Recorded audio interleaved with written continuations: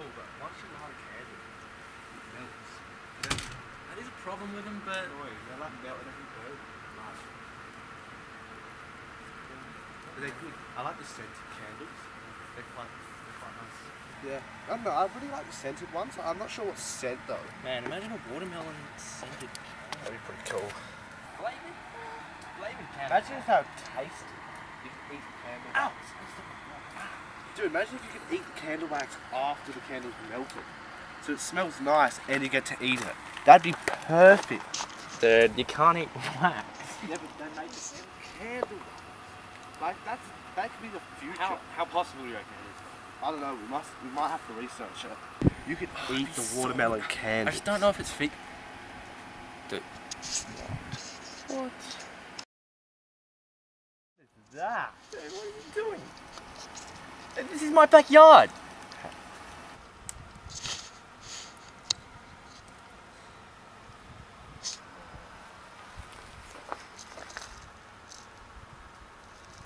Sweet.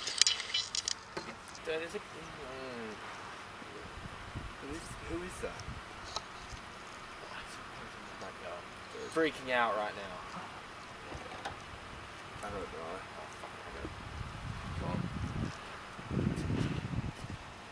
Dude. Dude.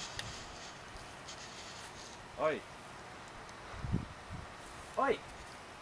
What are you doing in my backyard? What the fuck are you talking about? So that bus stop is only in there because I went to a junkyard and put it in there as a like fucking totally sweet like decoration. Got me? Dude, I catch, Why are you here? I catch this bus every day. I don't know what the fuck you're talking about. You serious? It's at your house. You come to my house every day Yes. and you catch a bus. Yes. Quit getting up in my grill. Let me do my sweeping.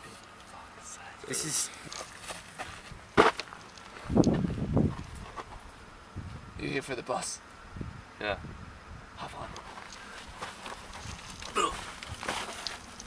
Told you, guys, freaking idiots.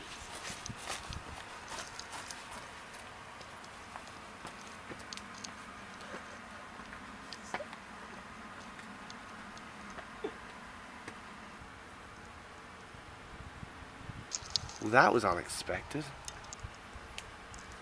That was strange.